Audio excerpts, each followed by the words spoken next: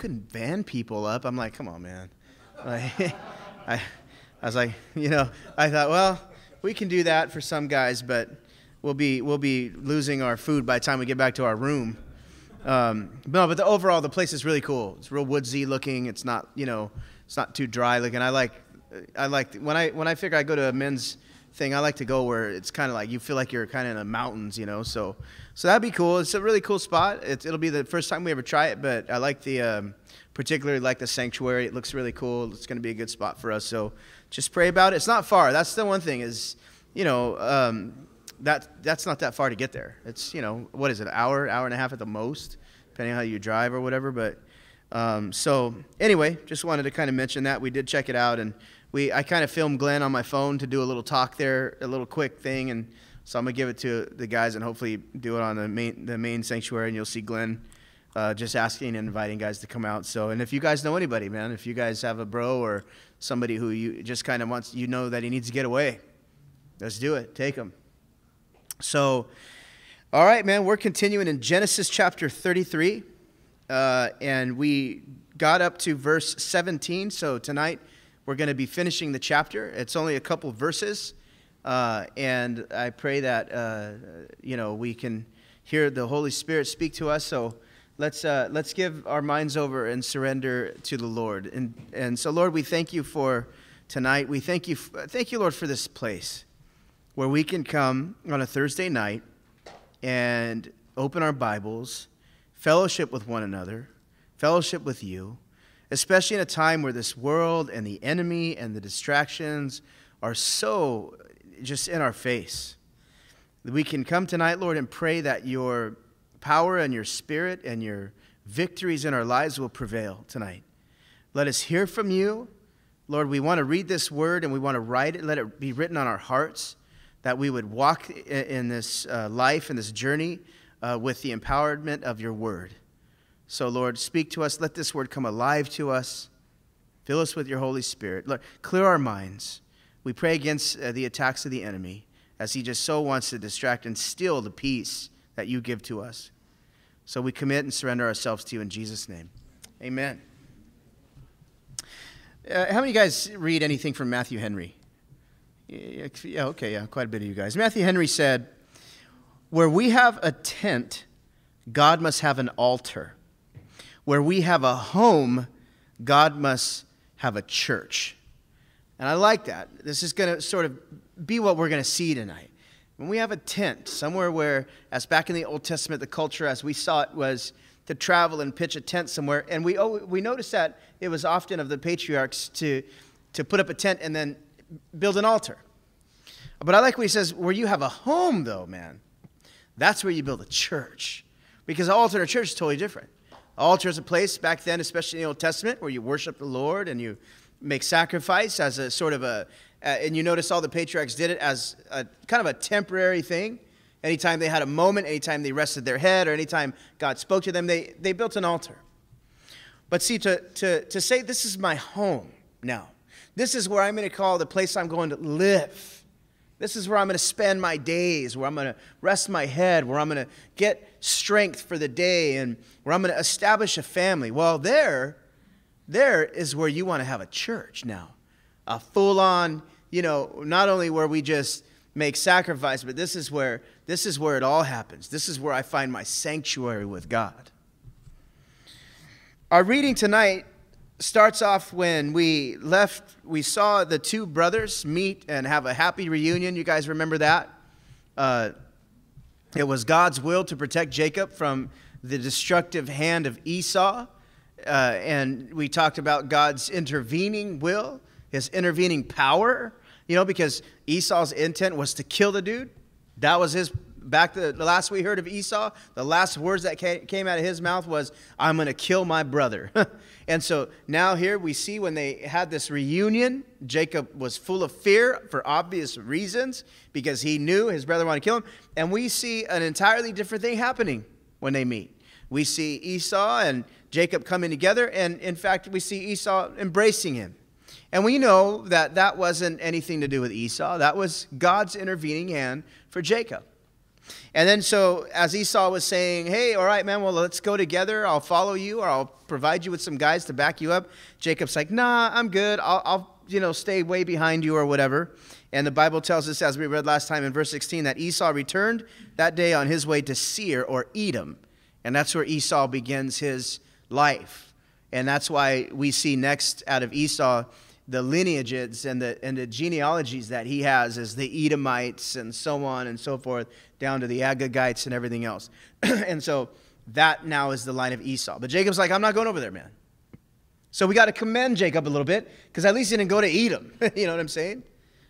But now we're going to get into where he did go, where now Jacob is headed after he has this intervening hand of God and he's going to he receives it and it says now in verse 17 it says and Jacob journeyed to succoth. So he didn't go to Edom and a matter of fact if you if you remember the reading last time he told his brother I'll be right behind you. I'll go to Edom. So he kind of gave him a little like you know I'm not really going I'm going to go but I'm not really going. So he goes to succoth. Now succoth means in in the language here it translates to mean tent town all right tent town, meaning it's a passerby town. It's on the it's on the wrong side of the Jordan, and I say wrong side in comparison to the promised land. There's the promised land on this side Jordan, and then there's the wrong side on this side Jordan. In fact, it's where Manasseh and the half, uh, half tribes, Manasseh and Ephraim, developed themselves there later on. It's on the, the side where God doesn't want them. He gave them this side, Jordan. The promised land existed over there. But here he is now. He doesn't go to Edom. Good call, bro. Good call. Don't go to Edom. But he goes to Sukkoth. And knowing now that he's on the wrong side of the Jordan, he's not exactly in the promised land where he should be. It says now, next, the Bible tells us that he builds him a house there in Tent Town, you see where this was only meant to be a passerby city. This city was there only for him to go through in order to get to where God wants him to be. And instead of him continuing on his journey over the Jordan River to the promised land, at this point, he decides to stop and then not just build an altar as a passerby, as somebody who, as he's done in the past, as a matter of fact, when he was in Bethel. Just say, God met me here, I'm going to build an altar. Instead, he, he says, I'm going to stop here, and I'm not just stopping for a little bit. I'm going to build a house right here. And it tells us, and look at, he made booths for his cattle. In other words, he became a farmer there. He begins to develop his life here, right? Right where so close to the promised land but yet so far in his mind and in his heart, he's not there. So it says, therefore, the name of the place is called Sukkoth. Now, what, what gets a man, okay? Well, I, I, just, I just, I ask myself this all the time when I read stuff like this. Um, as a matter of fact, we were just in, in, in before we come out in the, the study, the leadership, we pray and we see what the Lord's speaking to us about. And one thing we, we were talking about is a, a, chapter of this book, and I always I recommend it for everybody to read.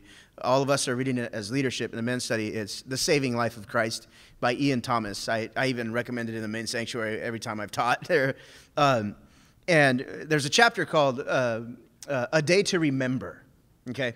And it's all about uh, remembering the children of Israel, uh, remembering the day they were delivered from Egypt. That's the, the, whole, the whole theme of the chapter. But what it is, is it's talking about how they did not remember, okay? How, how it seems so far in their past, this day that God took them from being slaves for 400 years, okay? 400 years under bondage to the Egyptian people.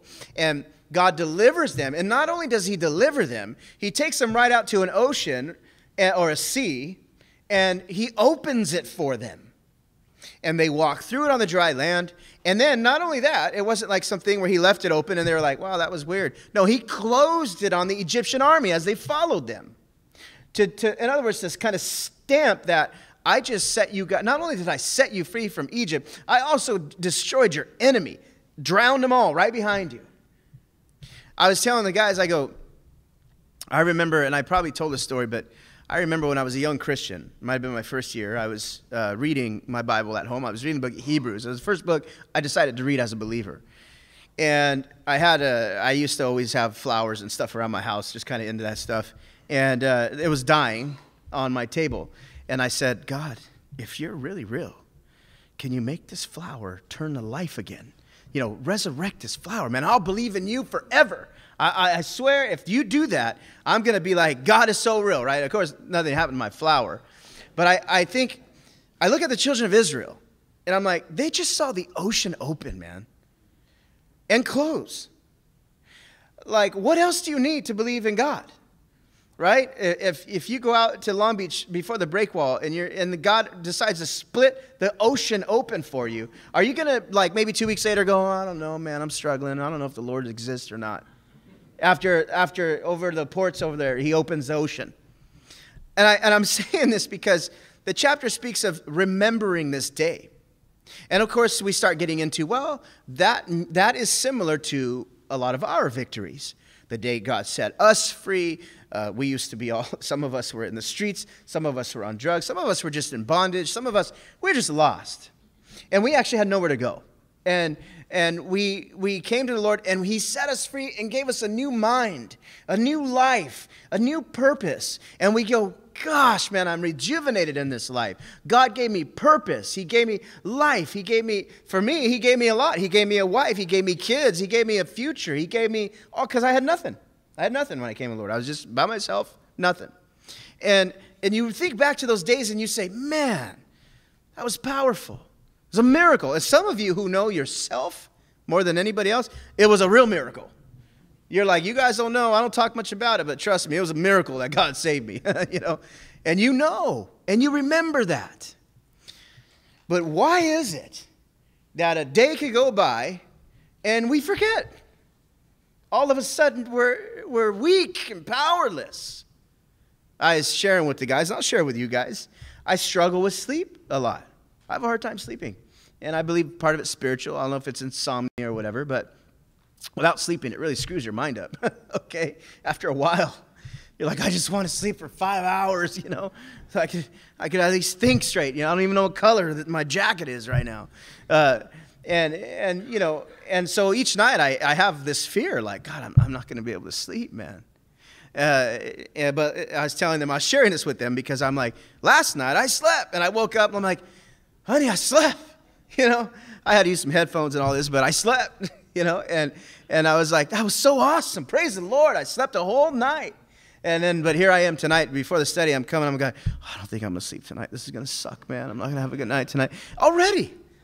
This was just yesterday. You know, like, how is it that, like, the enemy can just get so in front of your mind that you're so distracted from these victories? The ocean just opened for them. But the dry heat of the wilderness, the rocks, the irritating, all they did remember in the wilderness was the onions and the leeks and the vegetables of Egypt. You remember? They said, Oh, remember the leeks and the onions we used to eat back in Egypt. They weren't like, Remember, we just saw the ocean open up with a big hurricane of fire behind it? You remember all that? No, they didn't say that. Oh, I remember the onions, you know. What?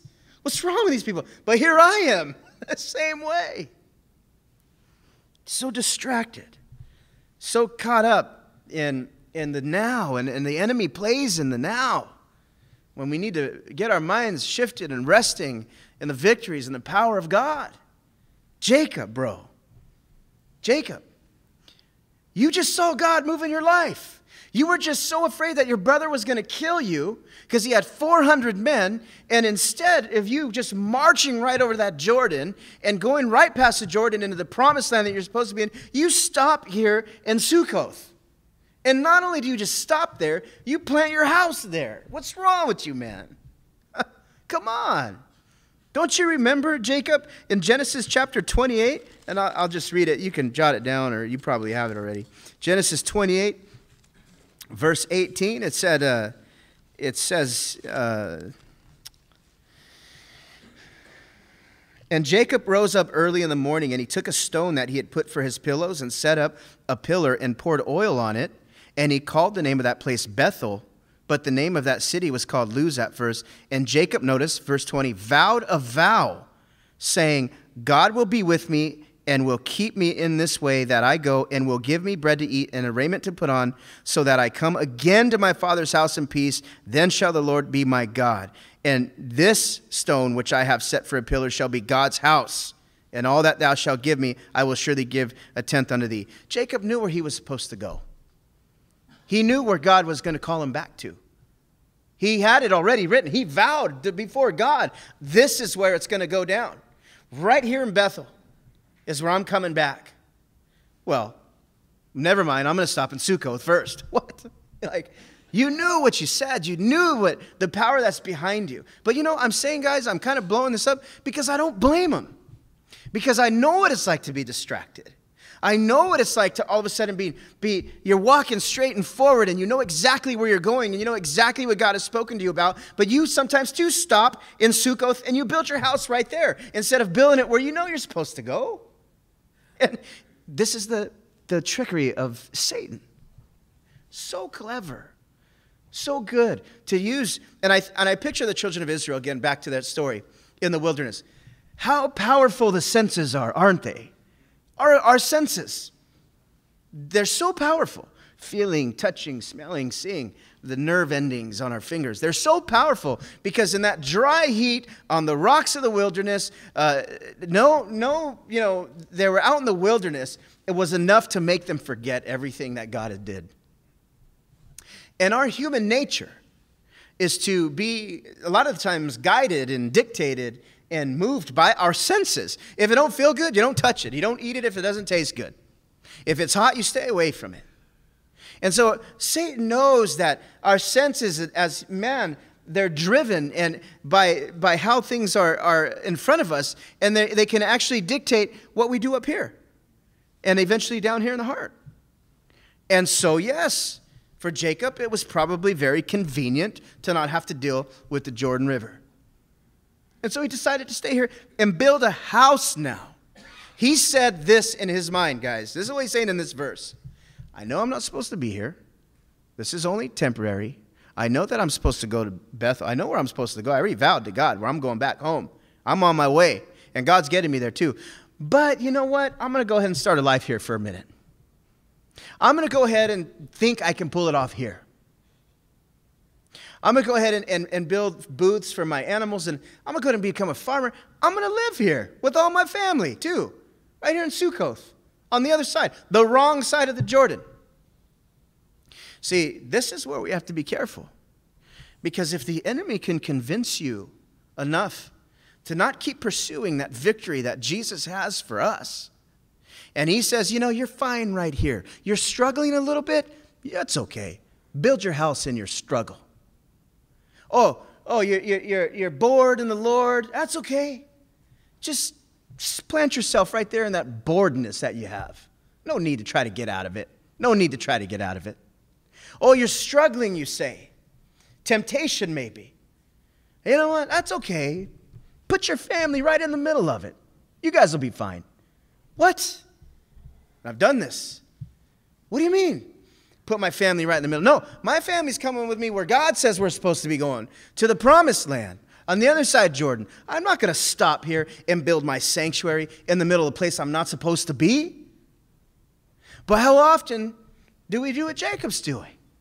We say, you know what? I'm going to stop here. And this is where I'm going to plant myself. The only thing we do, guys, is we do what the children of Israel did in Deuteronomy chapter 1. When we do this, here's what happens. When we find ourselves sort of just saying, this is good enough, I know it's not really where God wants me to be, but you know it's good enough, guess what we do? We find ourselves on Mount Horeb. Mount Horeb is described in Deuteronomy chapter 1, verse 6. And what God says to the children of Israel is this Get off this mountain. You're not supposed to be here. You're supposed to be in that land over there. See, but Mount Horeb was an interesting ge- geogra- it was placed interesting, you know, geographically. Why? Because Mount Horeb was was good enough to see the land, but it, and it was also good enough to see Mount Sinai, where God was. So it was right in the middle of both. And it was good enough for them to say, I know where God's at, and I know where I'm supposed to be going, but I'm fine right here. because I got God and I got the promise kind of over here, but I'm okay right here because we're surviving. And God says to them on Mount Horeb, Get down this mountain. What are you doing? I never called you to live here on this mountain. I called you to go to the promised land. See, but like the children of Israel, we too, we seek God close enough in our lives to be miserable. And then we see the promised land far enough, or at least in front of us, the victory that Jesus has for all of us. We know it's there, but we say, you know, man, I just, I just can't do all that. I don't know how to surrender fully. I don't know how to, how to really give that up. Or I can't really give this up. Man, this will affect my whole life. And we have our, our reasons. And we become the Christian living in the wilderness, the one who is just living in the dry, man. That's it. And we don't actually possess that power. Now, there's two people here I'm discussing and describing, okay? The one guy is the one that Satan's nailing. And he's, and, he's, and he's messing with you. He's lying to you. You need to say, I rebuke thee, Satan, in Jesus' name. Uh, Lord Jesus, I pray you would uh, take this fiery dart away from me, Lord. And as you expelled Satan in front of you by your word, I'm going to do the same. But the other guy, that's one, that's one of the guys that could be on Mount Horeb and in Sukkoth.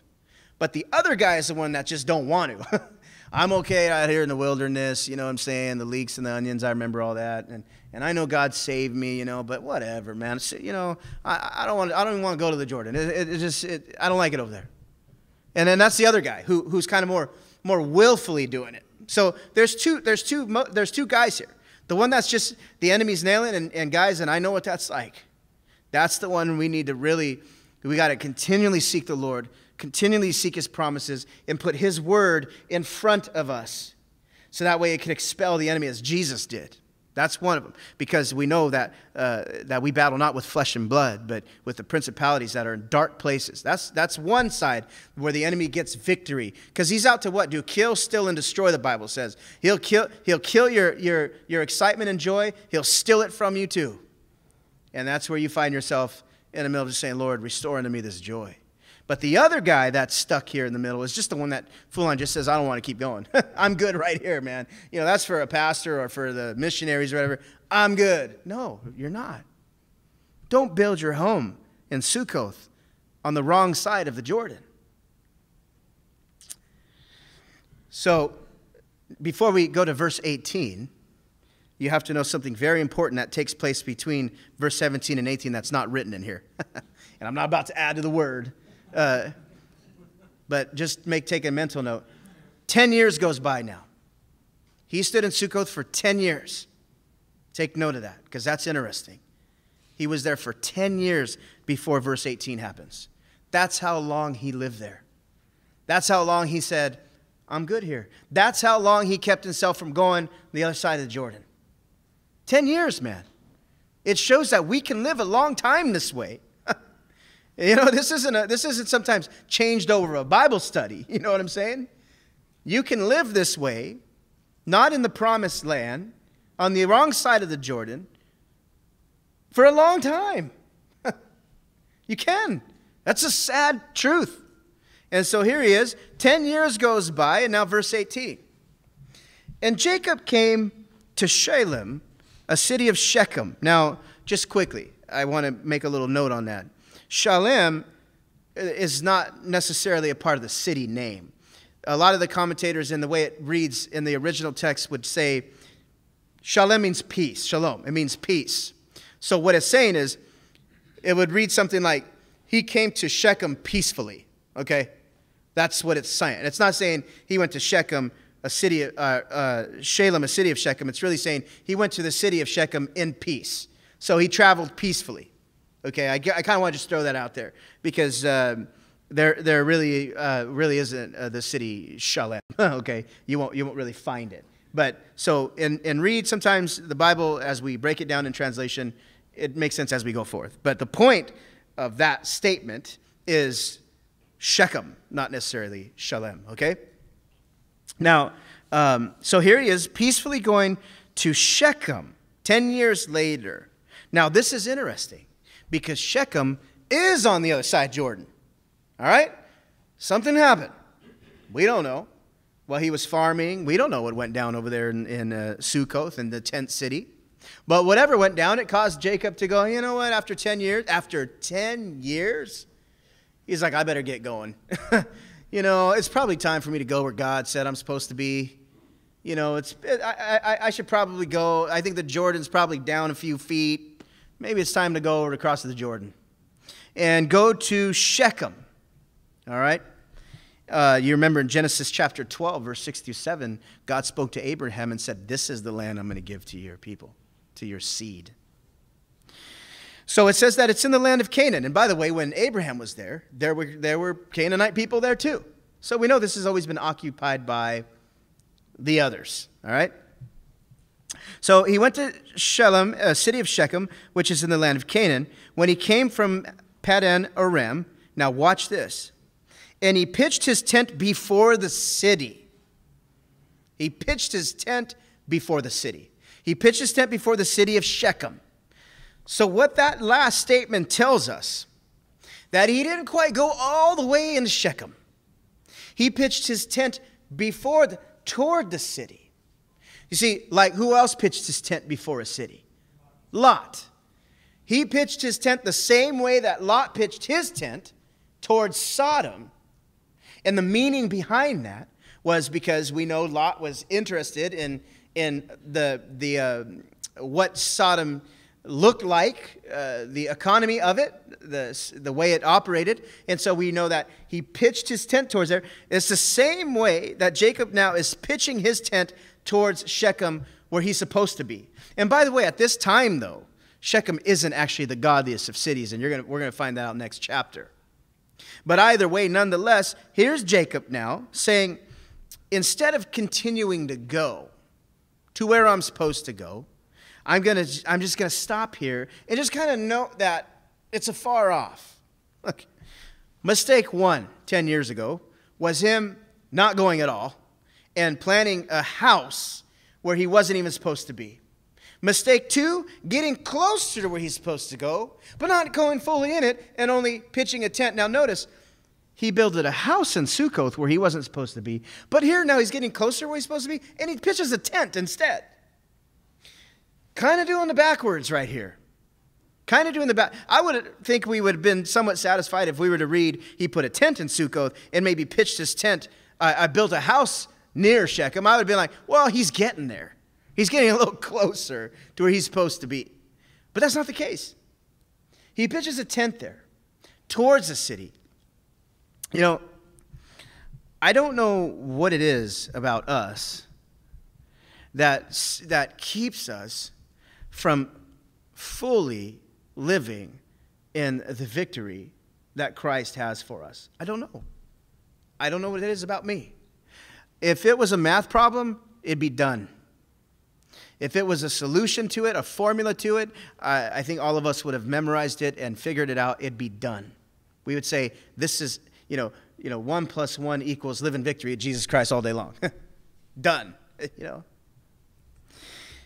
But here is an example of a man who's on this journey, man. Journey, going, going through this walk, leaving Laban's. And we got to remember all the stuff he's gone through, right? finding the ugly wife, finding the pretty wife, living them for 14 years, having all these kids, walking through, uh, you know, arguing and manipulating and deceiving Laban, the whole story, meeting his brother, fear of his life, God delivers him, stops in Sukkot. I mean, here's this guy walking this journey, honestly, like all of us are walking today. Honestly, making mistakes, having ups and downs, highs and lows, experiencing God and then sometimes not. Remember, he just wrestled with God. I mean, he's not a uh, his spiritual life is not insignificant, by the way. Jacob has a deep spiritual life. The Jacob we know here in this text has a very deep spiritual life. Not too many people wrestle with God one on one and get their hip broken, you see. He has a very personal relationship with God here in our reading tonight. But yet he's still making these mistakes. You know what that tells me, man? It's okay to make mistakes, first of all, okay? Because you're gonna. You're gonna make mistakes. If it was that simple, the day we got saved, and then the following day we were to live in the victories of Jesus Christ for the rest of our life, then we probably wouldn't need most of this. It'd be done. It'd be a done deal. You know, uh, uh, Peter, the disciple. Uh, Jesus would have never even told him a story about the rooster or whatever. He would have just said, You're going to always follow me and love me till the end, Peter. No. Jesus didn't say that. He said, Oh, you love me so much, but let me tell you, you're going to deny me pretty soon. By the way. Sorry, it doesn't, it's just not that easy. Now, I envy Paul, and no, I don't, because the dude got his head cut off according to tradition. But his confirmation and transformation happened pretty quick. I mean, but then again, he got blind, and all kind of, I can imagine that happening, right? Never mind, I don't envy him. All right, uh, take that back, delete it off the video. Uh, but his conversion, supposedly to a lot of people today, we believe it was a fast one. You know, he, he had these revelations given to him by Jesus. He said in 2 Corinthians chapter 12, because of the revelations given to me, I suffer these afflictions. So he got it all, man, all in one shot, you know. But then again, his life was miserable physically, okay? He was in prison. I mean, we, we can go down the list. Um, point is, is we don't get it all the first day. We don't go from, from gutter to promised land overnight. We don't. Unfortunately, we don't. We go from gutter to promised land in this journey called life. And on that and in this journey, we experience so many things, man.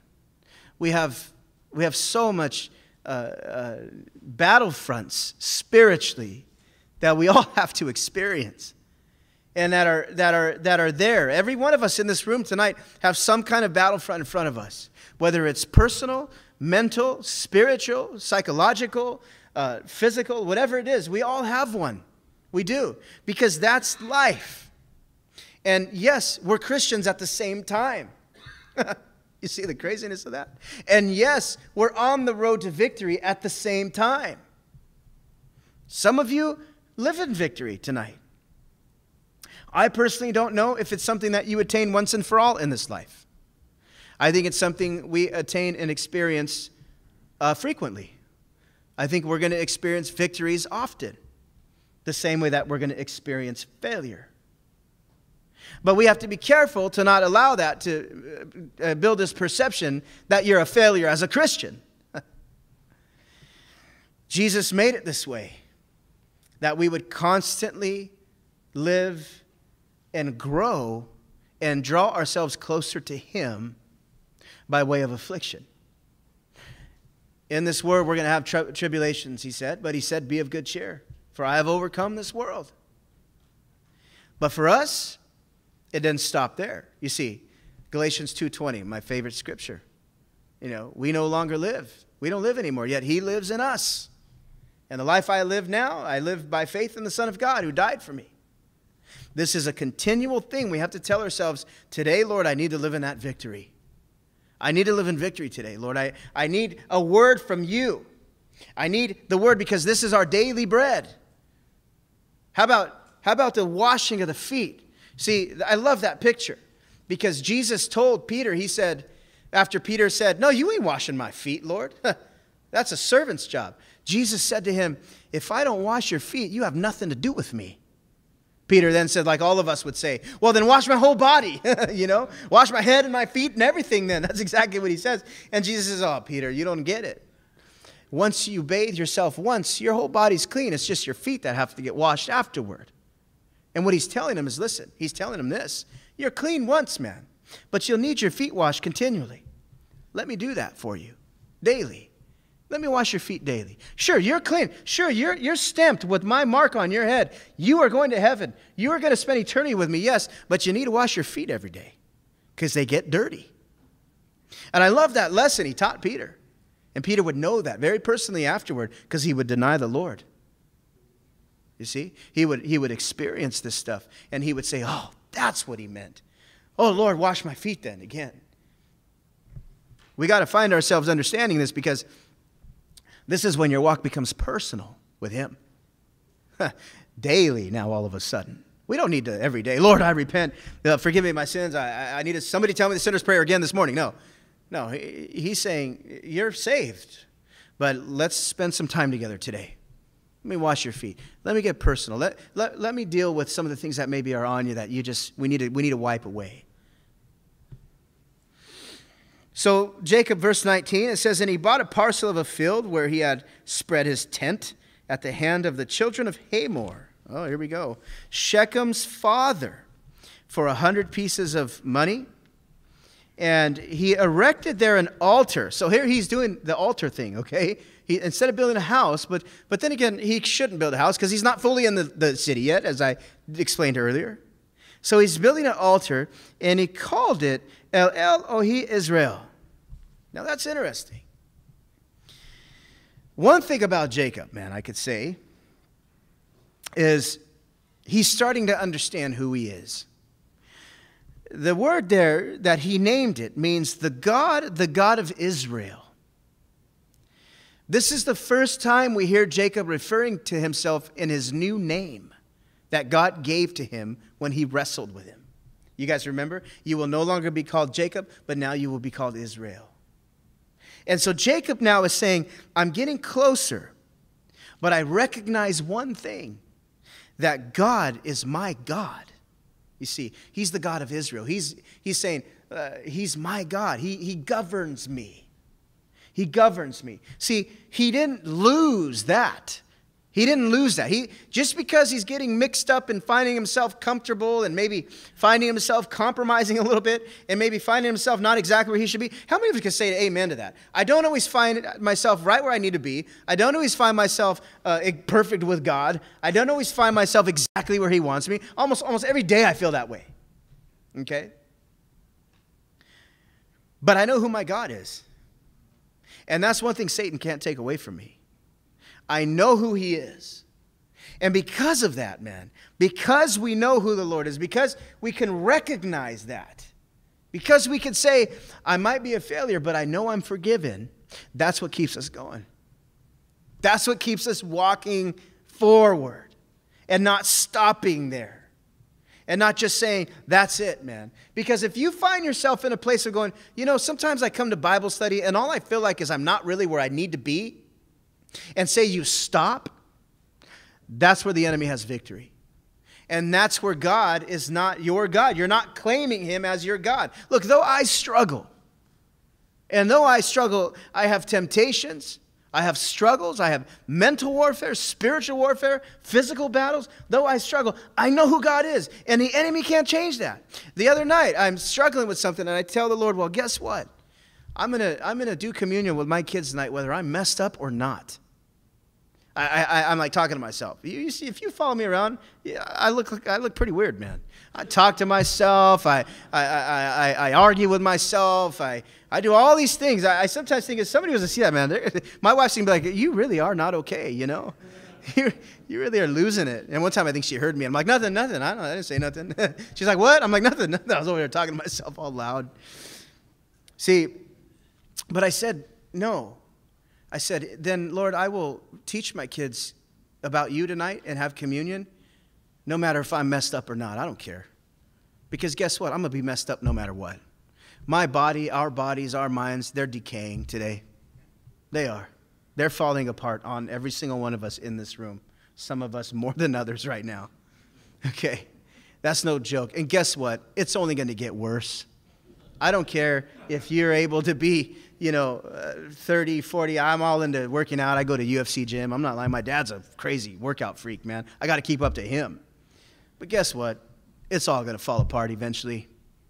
It's all going to it's all going to die. We're, we're, we're designed to, to have a stop button, and it's going to be hit one day. But guess what? The God in heaven, Jesus Christ, He's my God, and He's my Savior and that don't change. So, though I might sometimes find myself in Sukkoth, not fully crossing that Jordan today, honestly, I, I, might not be able to cross the Jordan. I don't know. I want to. Uh, I might find myself struggling sometimes. I even might find myself putting an altar where I shouldn't even be putting an altar in my life. But you know what? I do know one thing, man. Jesus is my Savior. And I'm learning that He loves me. I'm learning that. I've been walking with the Lord for 15 years, and I think I'm just learning that He loves me and that He cares for me because He says, Cast your cares upon me, for I care for you. And he says, I will love you to the end. And I think I'm just catching that, that he actually loves me. And that's okay. Because I will walk out of here saying, though I might still be learning a lot of lessons, maybe some people have learned already and they know, whatever, God is my God. you know what I'm saying? And, and, and that's not going to change. That's why he says it. El Elohim Israel. The God, the God of Israel. He's recognizing it even in the places where he knows he will eventually leave. Amen? Amen. Let's pray. So, Heavenly Father, we thank you, Lord, for your word. Thank you, Lord, for. Uh, yeah, you know, as we see the patriarchs, they're for our examples to learn from. And as we see Jacob tonight putting himself in a place, Lord, I always think of the things that, you know, Pastor Jeff says a lot to me and to the body. Um, God puts you in a fix to fix you. And Lord, we know that you put us in these situations at times. It's to fix us, it's to, to, for us to grow. It's for us to grow and, and to have victories continually to get us to say, you know, um, yes, we think sometimes in the wilderness about Egypt. Um, yes, we sometimes forget that you open the ocean, even in our lives. Uh, Lord, but we are saying tonight the reason we're here and the word that we receive ignites us and illuminates us to say, I may have forgotten, I may be thinking of Egypt too much, but Lord, tonight I want the promise on my mind. You are my God, you are my Savior, you are my victory. And so, Lord, no matter what the enemy has put in front of me today as a cloud, Lord, remove it in Jesus' name and let your word prevail. And let the promises of your word be those things that, that we solidify in our minds tonight. That the Jordan River is just over there. And we keep going. We keep going because we know that you died, yes, but you rose again to live, to live in us. So we pray, Lord, that victory that you provided, that's not attained by any self. Uh, anything that we can do, you provided it already. Help us then to shift gears mentally and spiritually and physically to say, then we live in your victory, rest in your, your victory, because we're only going to be more than a conqueror through you, not through us. So, Lord, write these things on our hearts tonight. Go before our fellowship, that you would be with us. Lord, strengthen us continually this night. In Jesus' name, amen. God bless you guys.